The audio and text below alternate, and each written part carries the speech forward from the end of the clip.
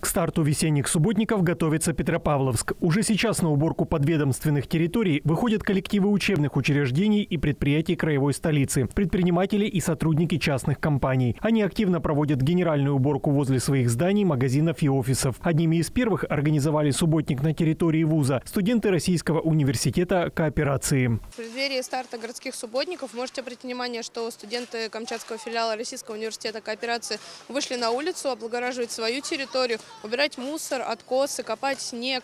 Ну, в общем, студенты проявляют активную позицию в этом плане. И мы, конечно же, выйдем на городской уровень, будем делать наш город намного чище. На уборку прилегающей территории вышли также сотрудники некоммерческого партнерства «Пищевик Камчатки». По всему городу у компании «Пять точек» субботники пройдут на каждой из них. Снег тает быстро, и очень много мусора из-под снега показывается.